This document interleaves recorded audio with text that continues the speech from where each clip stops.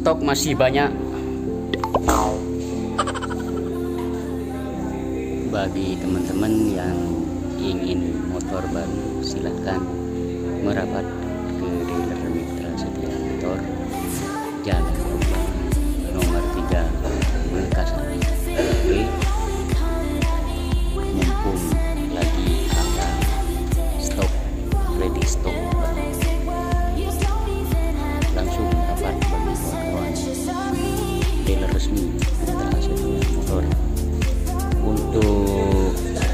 kalian bisa tes dan training ini sepeda sportnya